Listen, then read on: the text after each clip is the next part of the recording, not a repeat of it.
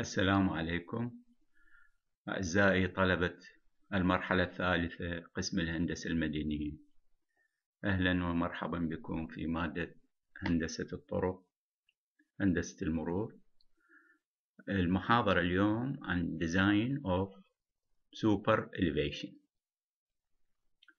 بهاي المحاضرة راح نتعلم إيش قد مسافة الرفع الجانبي للطريق عندما تنتقل المركبة من الطريق ال straight إلى ال horizontal curve. إحنا بالمحاضرة السابقة تكلمنا عن ال vertical curve. تكلمنا بالمحاضرة السابقة عن ال design of the alignment. وفي هذا تلك المحاضرة تعلمنا شلون نصمم آه المنحني العمودي. وقلنا المنحني العمودي هو نوعين نوع ساق vertical curve والنوع الثاني crest vertical curve. مثل ما قلت لكم اليوم بهاي المحاضرة راح نتعلم شلون نحسب مسافة الرفع الجانبي للطريق. عندما تنتقل المركبة من الطريق في المستوي ال level ال straight إلى المنحني الأفقي. قبل ما ندخل في موضوع تصميم مسافة الرفع الجانبي أو ال superelevation هنا عندنا حالتين. الحالة الأولى minimum turning path. At low speed turn إيش قد يعني low speed less than 10 مايل per hour. عندما تكون سرعة المركبة أقل من 10 ميل بالساعة. The radius is controlled by minimum turning path of vehicle. نسيطر على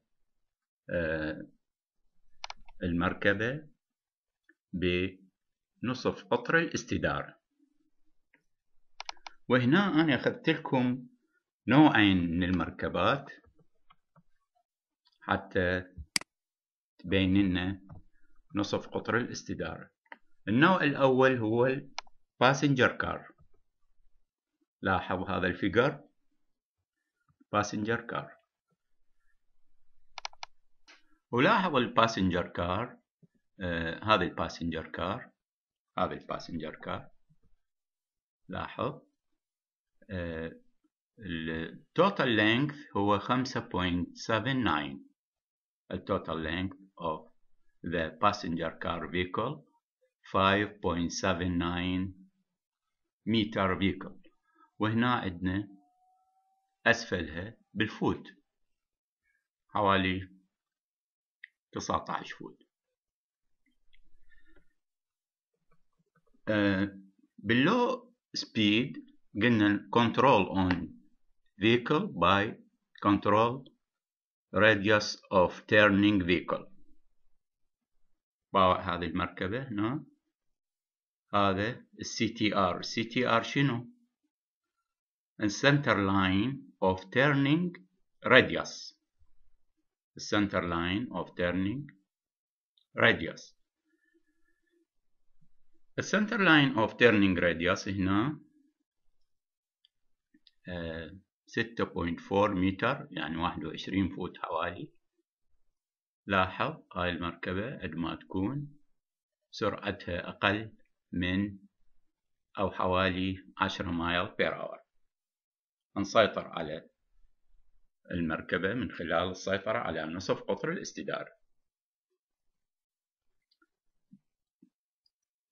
ال steering angle 31.6 degree هذا الفيجر هو بالحقيقة أنا مخليكم إياه للفائدة. حتى نشوف minimum turning path of passenger car vehicle or passenger design vehicle. هذه السرعة القليلة وين تكون؟ للمركبة. بالطرق الرئيسية؟ لو بالطرق الثانوية أو بالطرق الداخلية. بالمناطق السكنية. أكيد بالطرق الداخلية وبالمناطق السكنية. إذا هنا بالسرعة القليلة ما نحتاج نصمم مسافة تعلية جانبية أو مسافة رفع جانبي للطريق. وإنما نسيطر على نصف القطر آه، نسيطر على المركبة من خلال نصف قطر الاستدارة المناسب. النوع الآخر من المركبات هو ال WB WB 62 شنو المقصود بال WB لاحظ هنا المؤشر WB 62 المركبات الثقيلة. إحنا مشكلتنا بالمركبات الثقيلة بالمنحنيات. المركبات الثقيلة نصنفها على أساس ال WB اللي هو ال wheel base شنو ال wheel base the center line باوع المؤشر the, the, the distance between center line of front wheel to the center line of rear wheel or rear wheel يعني المسافة من منتصف آه الإطار الأمامي للمركبة إلى منتصف الإطار الخلفي للمركبة هذا ال WB 62 يعني 62 شنو؟ 62 foot المسافة بين مركز الإطار الأمامي للمركبة إلى مركز الإطار الخلفي للمركبة يساوي 62 فوت أو يساوي 20.68 متر واعتقد هاي الأنواع من المركبات صنفناها وشفناها وحتى في درس المرور العملي عندما طلعنا سوينا classification of vehicle اللي راح أيضا نعطيكم محاضرة على درس المرور العملي. من خلال آه هذه النافذة الفيديوية ومن خلال ما نحمله من مواد لهذه المحاضرة لاحظ أيضا هنا بالسرعة القليلة شوف ال CTR اللي هو center line turning radius باوع لاحظ هنا. المركبة عندما تستدير فيزيائيا تحتاج إلى أن ال horizontal curve نسوي لها widening يتوسع. أيضا هاي خليت لكم إياها للفائدة. حتى تطلعون عليها. صار عندنا شلون نسيطر على نصف القطر للاستدارة بالسرعة القليلة لنوعين من المركبات. النوع الأول الباسنجر كار والنوع الثاني هو المركبات الثقيلة وهنا أخذنا نموذج إلها WB62 Design Vehicle. إذا تكلمنا عن الحالة الأولى اللي هو at low speed. الحالة الثانية اللي هي B. At high speed. is get high speed? Up about 0.7 time to design speed. حوالي 0.7 من السرعة التصميمية أو السرعة التصميمية للطريق. هنا شلون راح نسيطر على المركبة في السرعة العالية؟ وبالمنحنيات الأفقية. The radius control by the amount of super elevation. هنا شلون نصمم شلون نحافظ على نصف القطر؟ شلون نحافظ على المركبة تصبح في حالة اتزان؟ يعني المركبة تسير في طريق الستريت بنفس الخصائص عندما تنتقل آه، من الطريق المستقيم إلى أن ترتقي إلى المنحني الأفقي. The radius control نسيطر على نصف القطر من خلال السيطرة على مسافة التعلية للطريق مسافة التعلية الجانبية للطريق اللي هي نسميها super elevation. To overcome centrifugal forces للتغلب على آه، آه، قوى الطاردة للمركز to overcome centrifugal forces in turning by side friction factor between tires and pavement هنا حتى نتغلب على القوة الطاردة للمركز يعني عندما ترتقي تنتقل المركبة من الطريق المستقيم إلى المنحني الأفقي كأنما هنا آه، قوى تحاول أن تجعل المركبة تنفلت خارج مركز الطريق. شلون نتغلب على القوى الطاردة للمركز؟ Coefficient of side friction between tire and pavement قوى الاحتكاك بين الإطار للمركبة وسطح الطريق minimum radius of circular curve أقل نصف قطر للاستدارة للمركبة راح نرمز له R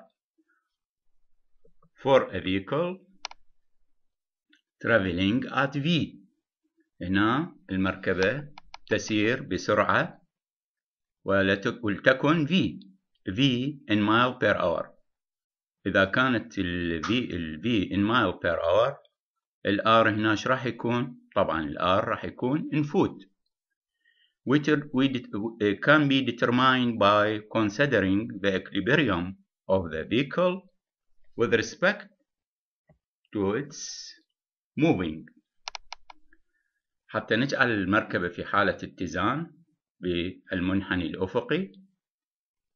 فالمعادلة اللي راح نستخدمها في هذه الحالة R minimum يعني أقل نصف قطر للاستدارة يساوي V square على 15 E plus F. راح نجي نشوف شنو هذا ال parameters ال V هو ال vehicle speed بها وحدات وحدات mile per hour ال E هي ال superelevation مسافة الرفع الجانبي للطريق ال F coefficient of side friction ال F coefficient of side friction coefficient of side friction وهذا ال F أريدكم تميزوه عن ال F اللي أخذناه وين أخذناه بيا محاضرة ال F آه، مر علينا مر علينا ال F بالسايد distance اللي سميناه coefficient of skid resistance coefficient ذاك coefficient of skid resistance معامل ممانعة الانزلاق للمركبة أما هذا ال F coefficient of side friction معامل الاحتكاك الجانبي للمركبة coefficient of side friction معامل الاحتكاك الجانبي للمركبة. R minimum minimum radius of the roadway in horizontal curve وهنا مثل ما قلت لكم بوحدات الفوت. والمعادلة الثانية هنا أعيد.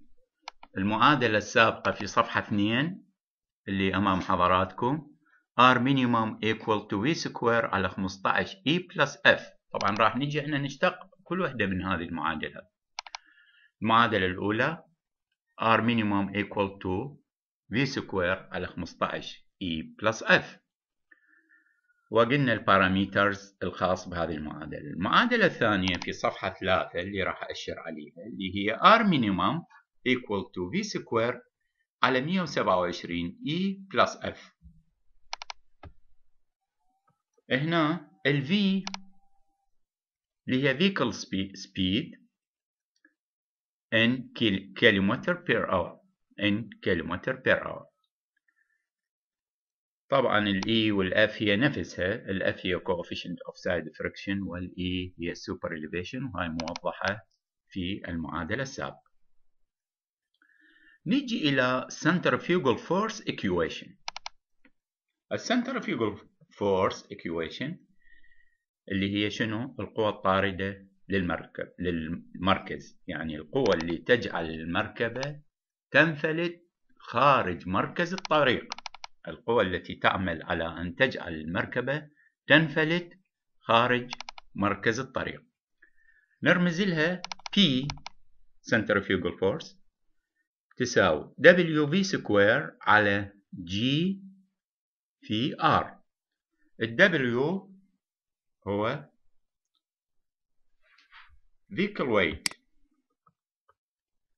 وال V square عرفناها اللي هي vehicle speed ال P ال centrifugal force in turning وال G acceleration of gravity ال acceleration of gravity مثل ما تعرفون بوحدات المتر per second square يساوي تسعة وثمانية بالعشرة وبوحدات ال foot per second square يساوي اثنين وثلاثين point two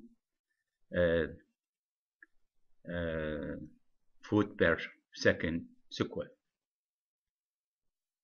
ال g هو ال acceleration of gravity هنا آه، آه، في بوحدات مثل ما قلت لكم foot per second square 32.2 or 9.8 بالعشرة في بوحدات المتر per second square development of super elevation. تطور مسافة التعلية يعني هنا مسافة التعلية أنا مو مباشرة أخليها على المنحني الأفقي. وين أخليها؟ في بدايته في نهايته في منتصفه. أه هنا لازم أتحكم في مسافة التعلية في طولها وفي ملائمتها. ومسافة التعلية يجب أن تكون ملائمة بالانتقال للمركبة. مو أسوي لها sudden change in elevations.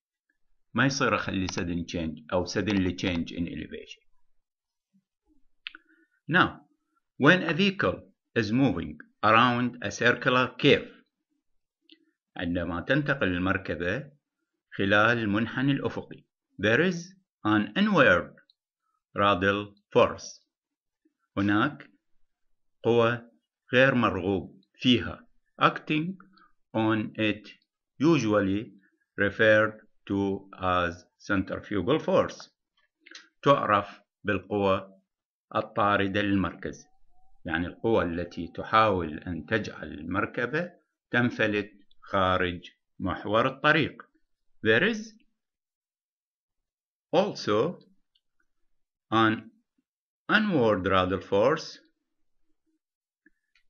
imagined by the driver as a result of the centrifugal acceleration acting toward the center of curvature in order to balance إذا هنا لازم يصير عندي balance أي اتزان in order to balance the effect of uh, centripetal acceleration force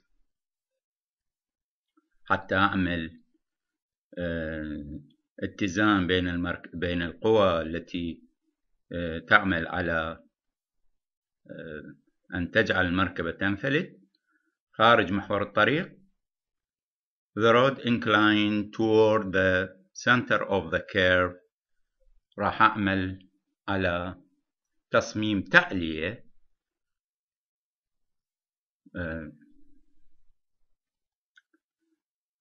في المنحني الأفقي so the development of the incline وتطور هذه التعلية must be done. لاحظ هنا هذا المهم بالموضوع.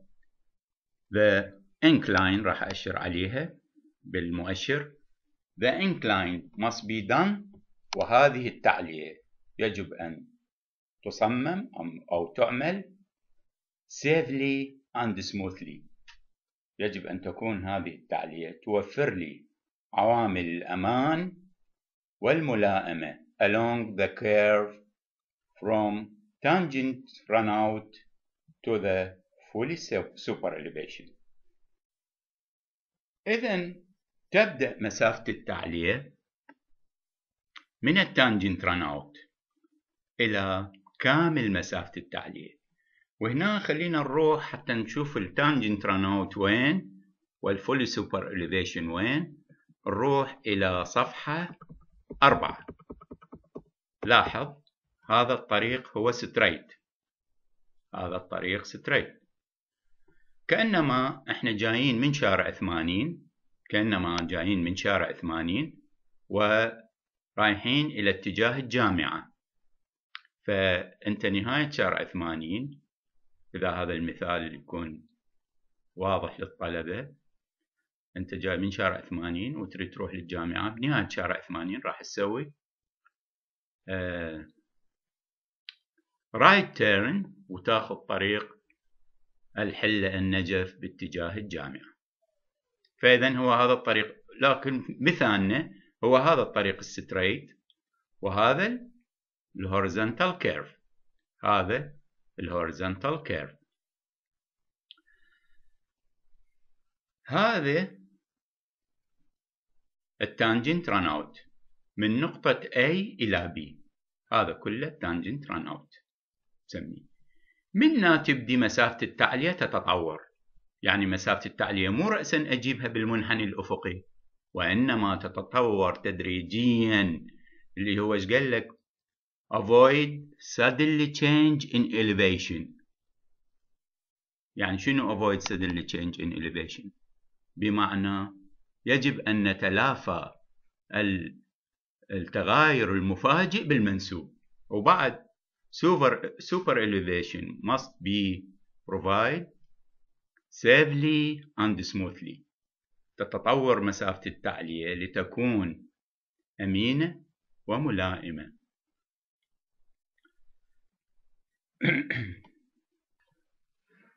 هذا الطريق كأنما دنباو إلى top view هذا ال top view plan هذا ال plan للطريق. هذا ال tangent runout وهنا راح يصير fully super elevation هنا راح يصير full super elevation هذا ال inside edge of the roadway يعني الحافة الداخلية للطريق. وهذه ال outside edge of the roadway هذه الحافة الخارجية وهذه الحافة الداخلية للطريق ال outside edge مثل ما موجود هنا. outside edge نرمز لها capital O capital E.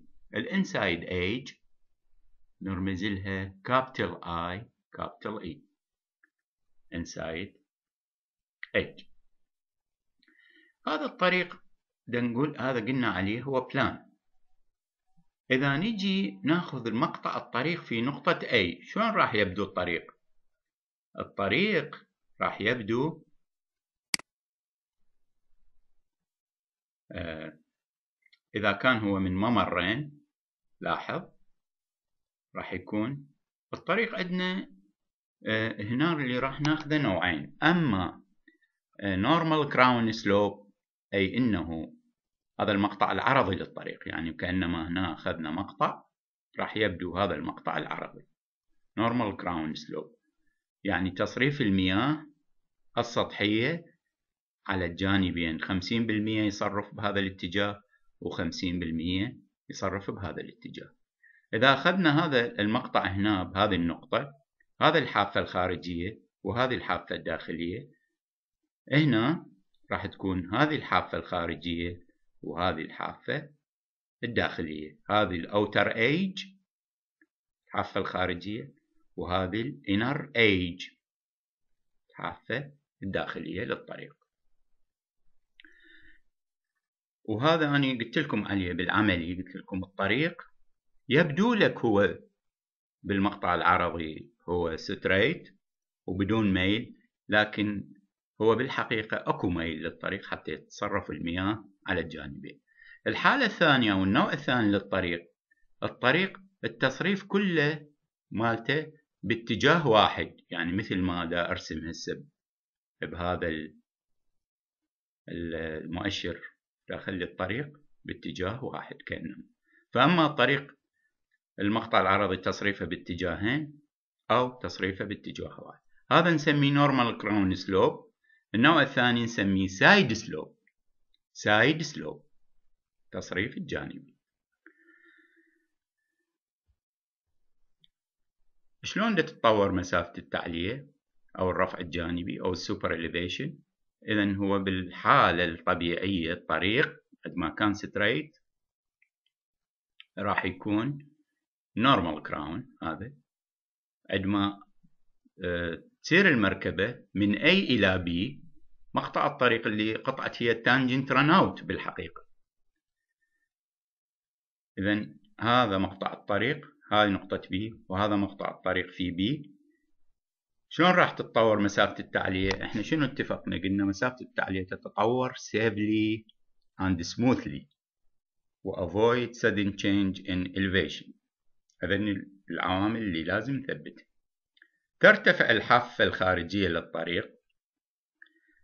ترتفع الحافة الخارجية للطريق لتنطبق مع محور الطريق.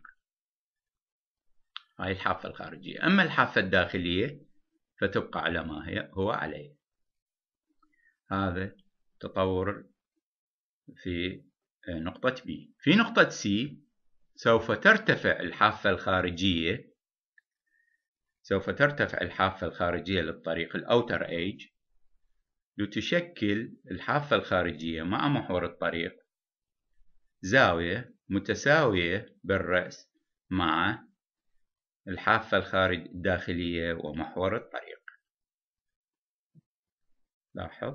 هاي الزاوية اللي تمثل في نقطة D في نقطة D إيش راح يصير عندنا؟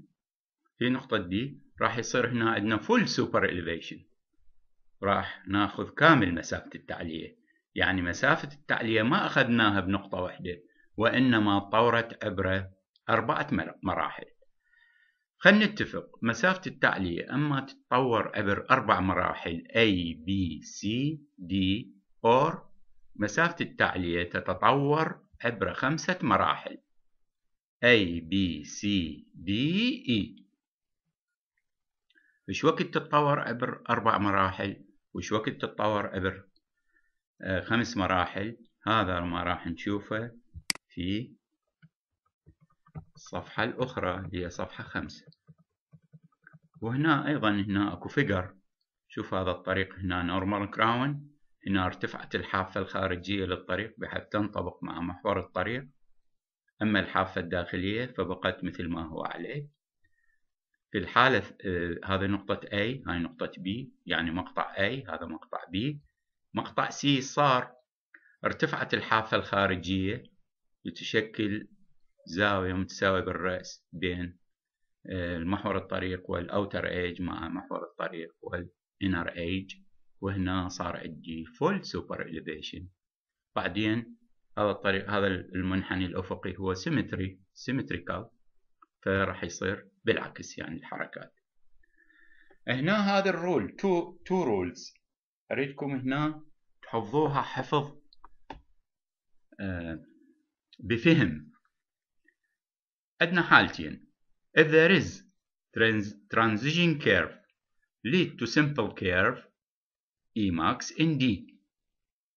إذا كان هناك منحني انتقالي يقود إلى منحني أفقي. وين يصير ال full super elevation؟ نرجع إلى صفحة أربعة. If there is transition curve lead to simple curve وأنا أفترض أنتم أخذتوا المنحنيات الأفقية في هندسة المساحة في الصف الثاني. إذا كان هناك منحني انتقالي يؤدي إلى منحني أفقي. وين أخلي ال super ال full super elevation يبدي؟ في نقطة D يعني تطور مسافة التعلية عبر أربع مراحل. If there is no, no transition curve simple curve only super elevation full super elevation in E. يعني مسافة التعلية تتطور عبر خمسة مراحل. واضح هذا الرول راح أعيده للمرة الثانية. أرجع إلى صفحة خمسة إلى قاعدتين الأساسيتين في تصميم مسافة التعليق. If there is transition curve. خلينا نفهم هذه القاعدتين. If there is transition curve lead to simple curve. Emax in D. maximum super elevation راح تصير في نقطة D but if there is no transition curve only simple curve Emax in D وهذا منطقي. عندما يكون هناك منحنى انتقالي هاي بالحالة الأولى. If there is transition curve lead to simple curve Emax in D عندما يكون هناك منحنى انتقالي يؤدي إلى منحنى أفقي تتطور مسافة التعلية عبر أربعة مراحل. أما إذا كان هناك آه، منحني أفقي بدون منحني انتقالي مسافة التعلية تتطور عبر خمسة مراحل. إذا كان منحني آه، انتقالي يؤدي إلى منحني أفقي المنحني الانتقالي من شأنه أن يقلل من الحافة الحادة للمنحني الأفقي. يعني هو دا يسوي لنا مسافة التعلية بتتطور آه، تدريجيا. أما إذا موجود بس منحني بسيط simple curve فإذا نحن محتاجين إلى أن تتطور مسافة التعلية smoothly and safely عبر خمسة مراحل. هذا الرول الثالث for 80 mile per hour and degree of the curvature صفر درجة 15 دقيقة. Are without super elevation إذا كان degree of curvature وأنا أريدكم تركزون على القاعدة الأولى والثانية. إذا كان degree of curvature مو حادة فما نحتاج. والسرعة 80 mile per hour ما نحتاج super elevation tangent run out. وقلت لكم من يبدي التانجنت run out أي من بداية الشروع بتصميم مسافة التعليق as the length of the roadway required to change the outside super elevated lanes from a normal crown slope to a flat cross slope هو طول الطريق المطلوب لتغيير الحافة الخارجية له من المقطع العرضي إلى ال zero level يعني flat slope يعني هنا إيش راح يصير؟ tangent equal to zero مثل ما موجود في صفحة أربعة. لاحظ؟ the length of roadway required to rise outside edge from normal crown slope هذا normal crown slope. To the flat slope يعني من تغير من E من A إلى B from normal crown slope الحافة الخارجية تتغير من normal crown slope إلى flat slope. أي تنطبق الحافة الخارجية مع مركز الطريق. طبعا هذه كلها راح تتذلل الصعوبات عندكم من راح نجي نحل المثال في نهاية المحاضرة. نرجع إلى صفحة خمسة وال tangent run out المعادلة اللي تحسب لي ال tangent run out هي x equal to g على e في l. وال x run out length. ال x يعني طول ال tangent run out إيش قد طول ال tangent run out أرجع إلى صفحة أربعة. يعني هذه قد المسافة. أحسبها. حتى يصير التصميم مالتي من A إلى B tangent run out حتى يصير التصميم مالتي اقتصادي. ال L elevation run out length.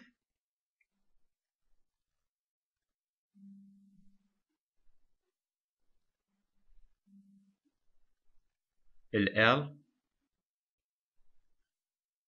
super super elevation runoff length. السوبر elevation runoff هو هذا. هذا ال tangent run off من من مقطع B إلى مقطع D. وإذا كانت خمس مراحل من مقطع B إلى مقطع E. هذا كله نسميه tangent run off إذا أحتاج أحسب ال tangent run off حتى أحسب الجي هو normal crown slope أنا مو قلت لكم ال normal الطريق أما normal crown أو side slope هذا ال normal crown إيش قد هذا ال normal crown 2% 1% normal crown slope شنو الطريق؟ الميل مالت المقطع الجانبي للطريق. واحد بالمية واحد ونص بالمية اثنين بالمية. وال E full superelevation ال E هو كامل مسافة التعلية أو مسافة الرفع الجانبي للطريق. أعزائي الطلبة إلى هنا وأرجو أن تحققت الفائدة من هذه المحاضرة وسوف نستكمل بقية المحاضرة والمحاضرات الأخرى في فيديوهات تنشر إلى حضراتكم لاحقا. السلام عليكم ورحمة الله وبركاته.